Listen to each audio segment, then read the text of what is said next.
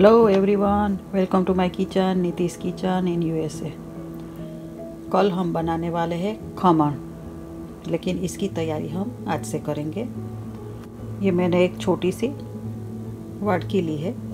आप कोई भी माप सेट कर लीजिए। ये वाटकी भर के मैं चने की दाल लूँगी।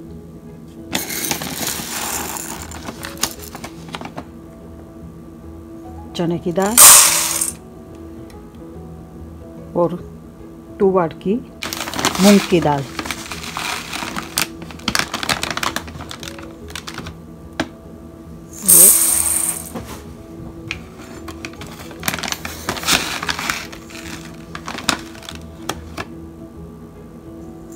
दो। अब हम आधी वाट की उड़द की दाल लेंगे। आधी वाट की चावल लिया है मैंने, जासमीन का चावल लिया है। अब हम इसे दो तीन बार पानी से धो के रात भर भिगोएँगे। अब इसमें अब इसमें मैंने पानी डाला है और अब हम आठ घंटे के लिए इसे ऐसे ही छोड़ देंगे, भिगोएँगे।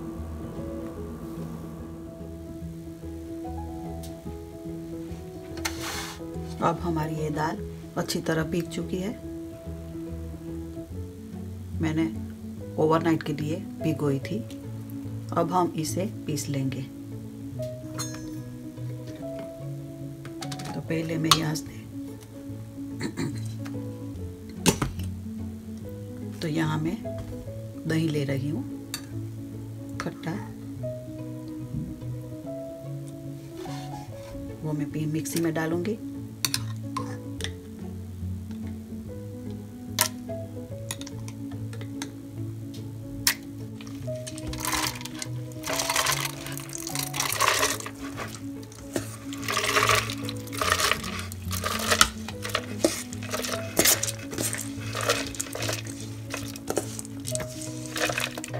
अब मैं इसमें ये छोटी सी कटोरी है, ये भर के मैं पानी डाल रही हूँ। अब हम इसे पीस लेंगे। ये सारी दाल पीस ली है। ऐसा पीसना है, थोड़ा सा दरदरा। ऐसा।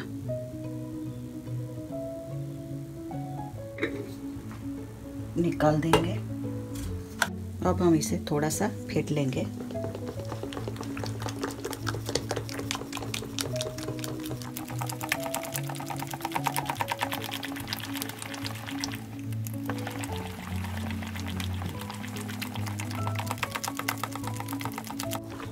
इस तरह आपको पाँच मिनट ऐसा करना है।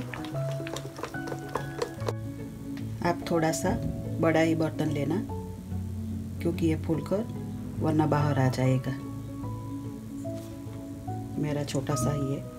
अब हम इसे ढक के आठ घंटे के लिए गरम जगह में रख देंगे। यहाँ हमारा खमन का लोट का आठ घंटा हो चुका है। आप देख सकते हो। अच्छी तरह से आथा आ चुका है।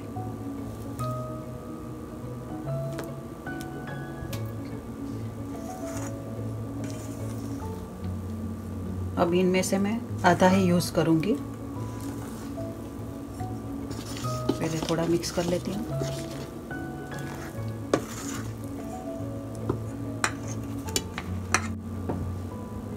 यहाँ मैंने खमण बनाने के लिए एक स्टीमर लिया है। उसमें मैंने पानी डाल के स्टोव ऑन कर दिया है।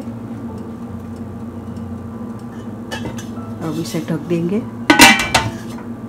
और खमन की तैयारी करेंगे। यहाँ मैंने आधा ही बेटर लिया है। और इसके लिए मसाला पहले पीस लेंगे। यहाँ मैंने अदरक का टुकड़ा लिया है, छोटा सा, और हरी मिर्च ली है। आपको जितनी तीखी पसंद है उसी प्रकार लीजिएगा। कम या ज़्यादा कर सकते हो। पहले मैं इसे पीस लूँगी। अब यहाँ मैंने मसाला पीस लिया है, वो इसमें डालूँगी।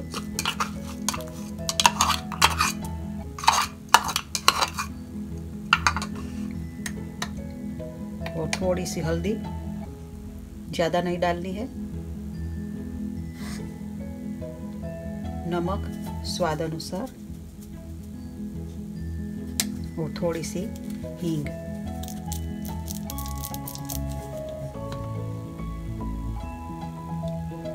और दो चम्मच ऑयल यहाँ मैंने सींग तेल लिया है और एक चम्मच इस डिश में भी डाल देती हूँ स्टीमर में स्टीम करने के लिए। इसे हम मिक्स कर लेंगे।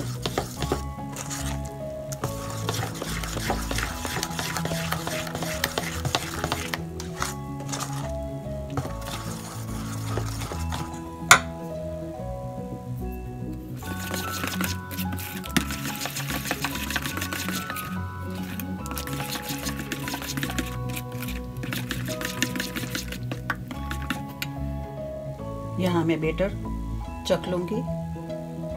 अगर कुछ कम है तो डाल सकती हूँ।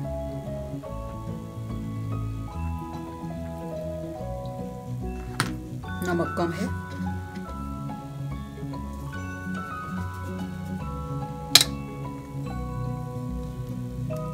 अगर आपको शुगर पसंद है तो आप शुगर भी डाल सकते हो। ऐसा गाढ़ा होना चाहिए। अब हम इसमें इनो डालेंगे। यहाँ हम ऑयल स्प्रेड कर लेंगे। और यहाँ आधी चम्मच जितना इनो डाल रही हूँ।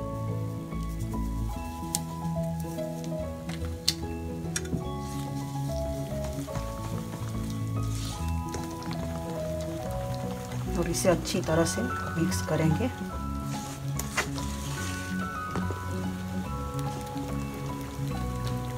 अब ये फूल चुका है।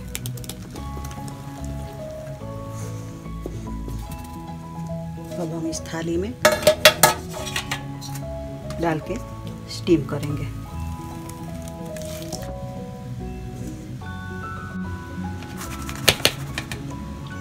थोड़ा सा ब्लैक पेपर डाल रही हूँ ऊपर।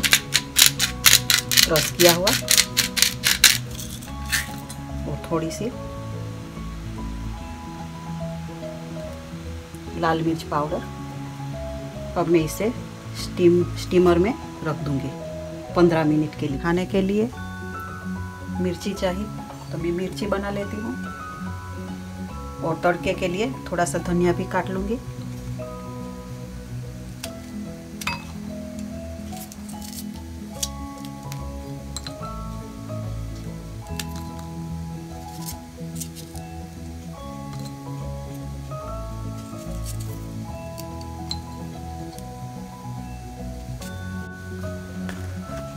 पिसा हुआ जीरा एंड नमक है और थोड़ा सा ऑयल इसे हम मिक्स करके माइक्रोवेव में वन मिनट के लिए कवर करके कुक कर लेंगे। तैयार हो गई है।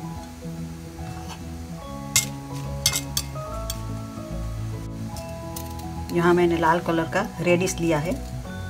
उसका मैं पीस कर लूँगी। बहुत छोटा नहीं किया है। बाइट साइज़ का किया है।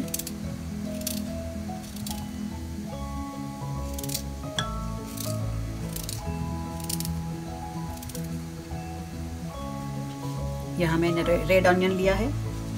आप स्वीट ऑनियन भी ले सकते हो, कोई भी ऑनियन ले सकते हो। इसका भी मैं बड़ा बड़ा ही पीस करूँगी बाइट साइज़ का।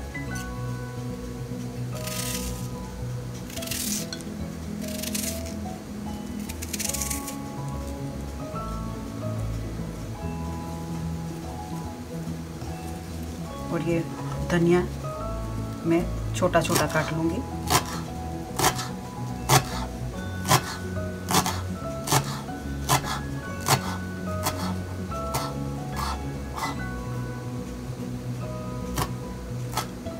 और यहाँ मैंने यहाँ मैंने टोमेटो की चटनी बनाई है खमन के साथ खाने के लिए।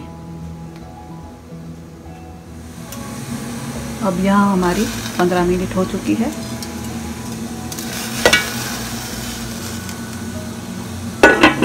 हमारा खमन रेडी हो चुका है। अच्छी तरह से फूल गया है, लेकिन फिर भी मैं एक बार चेक कर लेती हूँ। नाइफ एकदम क्लीन है।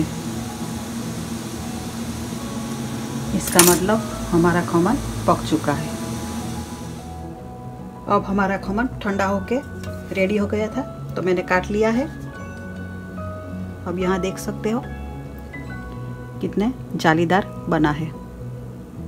अब हम इस पर तड़का लगाएँगे। यहाँ मैं धनिया डाल देती हूँ।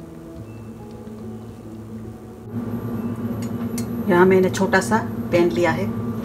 हम इसमें ऑयल डालेंगे।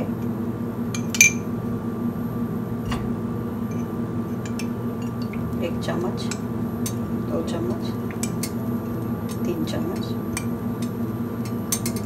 मैंने तीन चम्मच इतना ऑयल डाला है। अब हमारा ऑयल गर्म हो चुका है। मैं राई डालूँगी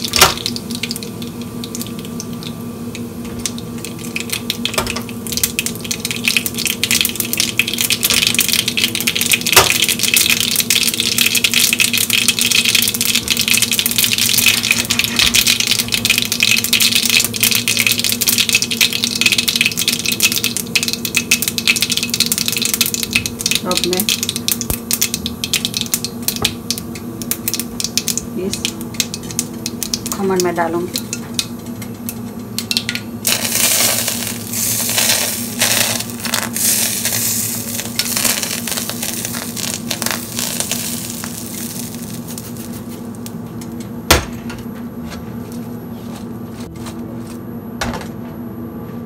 अब ये बनकर रेडी हो गया है।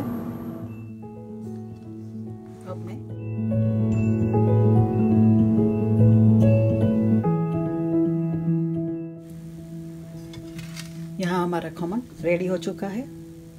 Thank you for watching my video like share and subscribe my channel thank you so much आप भी ये रेसिपी देखकर ज़रूर बनाइएगा और बहुत ही अच्छा बनेगा। यहाँ मैं चटनी के साथ ट्राई कर रही हूँ।